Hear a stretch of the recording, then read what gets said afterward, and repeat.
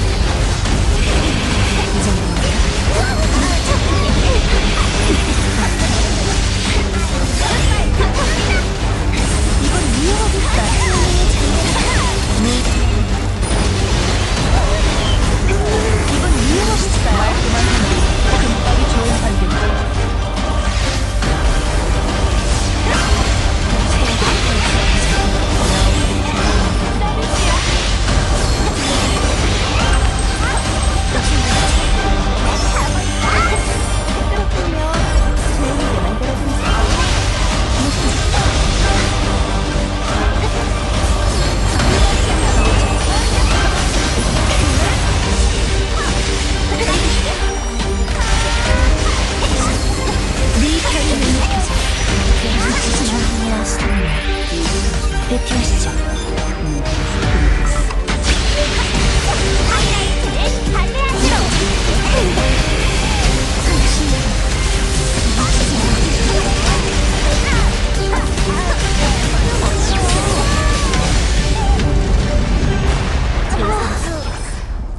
시간에 늦겠는데.